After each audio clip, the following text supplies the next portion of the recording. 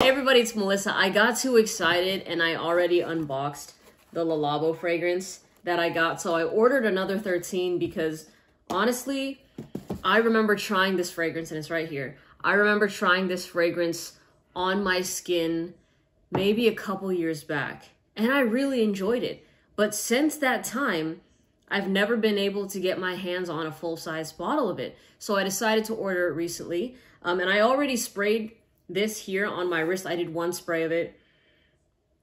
And I literally sprayed it, what, like five seconds before I started recording this video. So it's very fresh on my skin right now. But I'll put the link for where I got another 13 pinned in the comment section. It's also going to be in the description box in case you want to check it out, compare prices. Um, and the last thing I just want y'all to know is that the fragrance sale I was telling y'all about is live right now. It's going to be ending tomorrow on November 17th on Sunday. Okay, so those, like the link there has the fragrances that y'all have been basically asking for on discount. I like stuff like Angel Share, Valaya, there's Creeds on there. There's more designer fragrances, there's niche fragrances. So it's just like a quick like thank you to y'all for like the support and stuff like that. But just know that link, it's an affiliate link, so at the end of the day, buy where you feel the most comfortable. But now on to another 13. Just my initial impression right now of how it's going. And this is an EDP concentration. It's just clean, minimalistic, lovable. This is, to me, a great signature scent fragrance. Just point blank, period. I think if you wear something like another 13 by Le Labo, it smells very put together. It will work very well in a professional setting. At the same time, this also will work very well in just casual wear. Like if you're just in a regular t-shirt and jeans or pants or shorts, whatever it is, and you smell like this, there's a luxurious sort of feel to it, a luxurious sort of vibe. And it's a little bit reminiscent to another Byredo fragrance that the name is slipping my mind. It's not Mojave Ghost. But if you watched if you watch the video where I did the unboxing of the two Byredos, I, I can't believe I'm slipping on the name of it. The one where I said it kind of smells like a, a clean hotel lobby. it a little similar, like another 13 and that Byredo fragrance have similarities, but I like this one much better. I just think that to me, that Byredo fragrance, like I said, smells more like airport lounge, expensive hotel lobby. But this one smells like, like it would, it just, like that fragrance smells like those environments, but this just like on a person, I, I, on a person just smells, it smells good. I, ah, gosh, I, hold on. Let me, let me rephrase that. I basically don't want to smell like a place. That's what I'm trying to say. I don't want someone to smell me and be like, oh, I smelled that at like the Ritz lobby. You know, like when you're just and there's a difference between wanting a space to smell good and wanting you as an individual to smell good. And that's why I like another 13 better, just because yes, it smells luxurious, yes, it smells upscale, like as but you think of a person, you don't think of a place. I hope that's I hope that's making sense. Like you don't think of a room, you know? Um it could be. I mean, I could see this used in a diffuser and just it smelling great, but I'm just imagining this kind of like as an intimately worn fragrance. Maybe you're having a candlelight dinner with somebody, um, or you give somebody a hug, right? And it's nighttime and they're just smelling this wafting off of you. And I don't think this is a fra- I'm actually going to wear it as my scent of the day. I'm only going to rock with three right now because I don't think this is a fragrance that needs to be super loud. Now, again, I'm going to give you a full review later on just to kind of tell y'all how this develops throughout the day, the wear time of it, the noticeability of it. My prediction of it is it's going to be wafting in and out, right? There's going to be moments where I'm nose blind to it that I think it's no longer on me. And later on in the day, I catch a whiff of it. That's just the norm that I get regardless of the fragrance that I'm wearing. So with another 13, I think fragrances like this that have a very simplistic vibe, when it's done in a, uh, I feel like if it's oversprayed, it doesn't work too much. This isn't the type of fragrance you wear when you're trying to get attention or you're trying to have a neck breaker and you're trying to get, you know, like fish for compliments in that way. I think that this fragrance naturally will get compliments because it's just that lovable. Um, and people will gravitate to a smell like this when they smell it in your personal space. But yeah, I, I would not go like all over with another 13. It, I just think it would come across too desperate. But again, different strokes, all right? Like that's honestly kind of how I feel in general with fragrances. I don't tend to overspray them. I think before, maybe with weaker ones, you guys have seen videos where I were I was spraying more of them.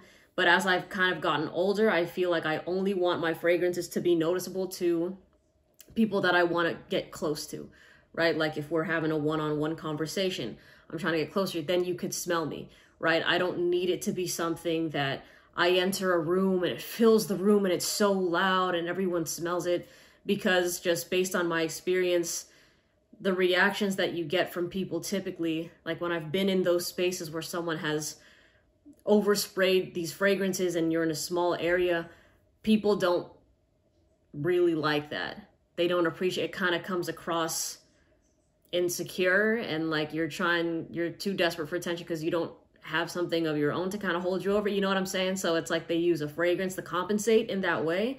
Um, whereas to me i think it should be more of a cherry on top right? You're an amazing person you smell fantastic and it just it's just an attractive thing to add the cherry on top and not to make it your whole entire cake right but another 13 is just perfect in that regard because it's a fragrance that will just elevate whatever, like just elevate you point blank, period. So if you're somebody that is wearing this in a luxurious bougie setting, let's say you're going to a gala or maybe like a black tie event, a wedding, you wear another 13, you're gonna smell fantastic. Just clean, put together, sophisticated, right? You wear this fragrance and you're in jeans and a t-shirt, or even you're in sweatpants, whatever it still smells like you're just clean. And that's a very attractive thing. I don't have a problem with wearing fresh, clean fragrances on a daily basis, regardless of seasons.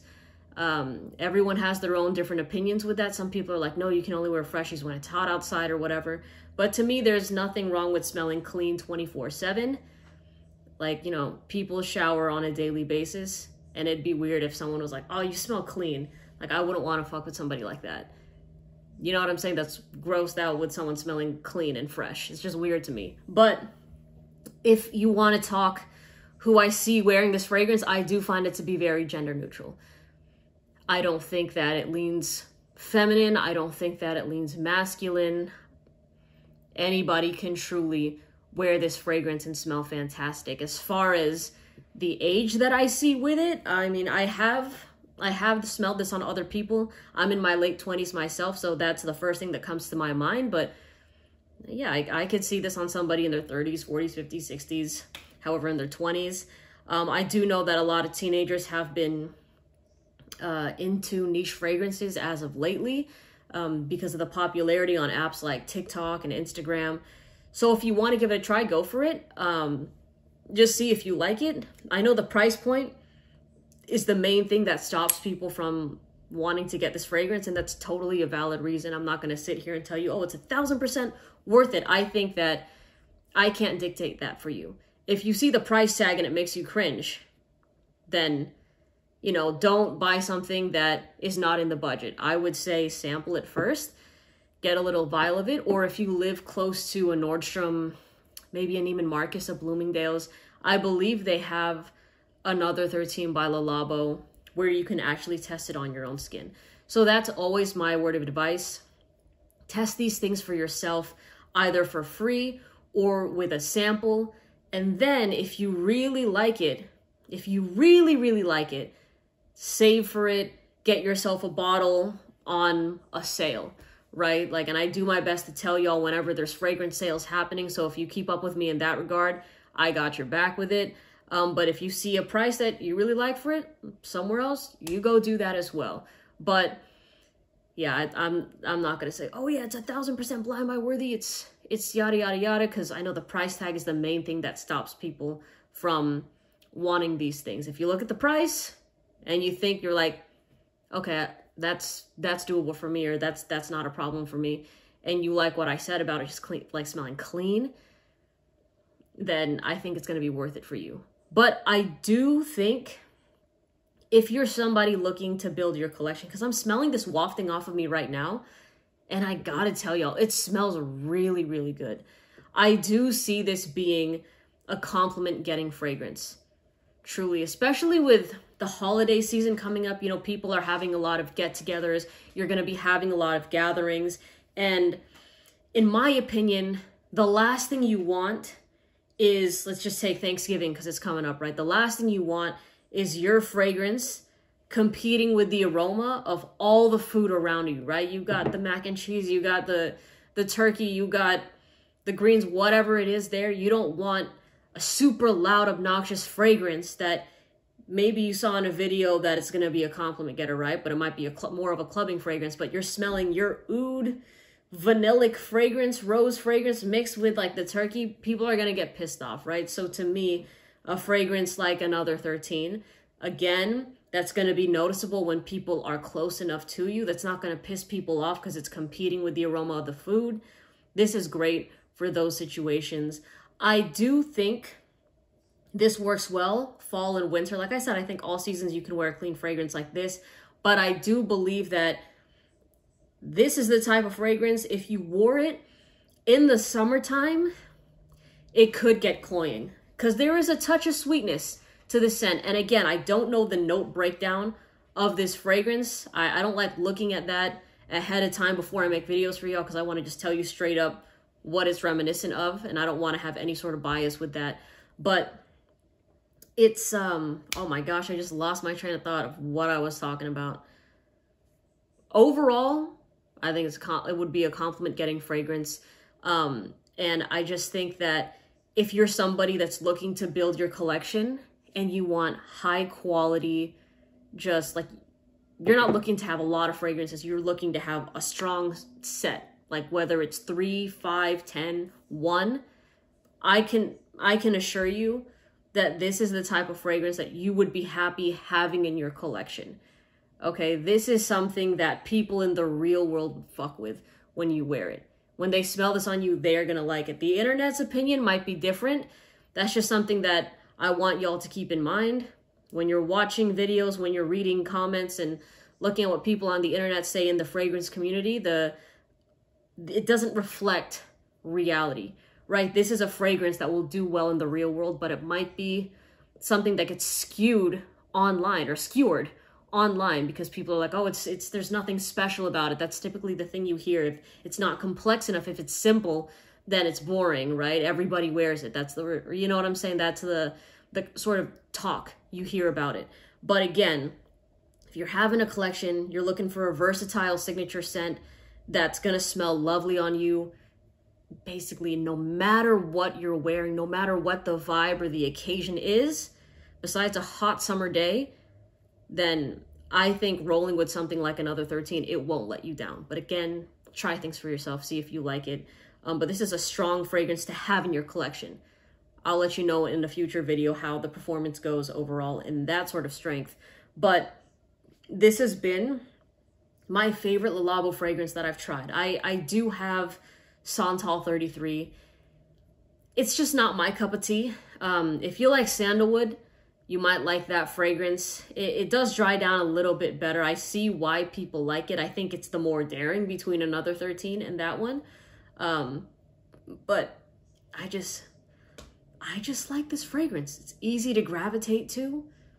It's a, it's a dumb reach sort of scent. You're like, shoot, what should I throw on? Oh, I know if I wear another 13, I'm gonna be good to go. All right. So again, let me know if you've tried this fragrance, your, your thoughts in the comment section below. The last thing I do want to just say to add to this scent though is the importance of trying things on your own skin because skin chemistry is a big thing, which kind of takes me back to making sure you sample things. But I know watching videos, it's it's fun and stuff, but people's skin chemistry is very different. So you might have someone say that this is a garbage fragrance, but it just smells bad on them, right? You have other people that only wear things on clothes and it smells a certain way on them and whatever. So always, always test on your own skin. Please. There's one thing I want you to take away from this video. It's that, okay? And again, link for the fragrance on the discount site pinned in the comment section below, along with the current fragrance sale that's happening with niche and designer fragrances that's going to be ending tomorrow, November 17th. Okay, I hope y'all have a great day. Let me know your thoughts on another 13, and I'll see you in the next video. Take care.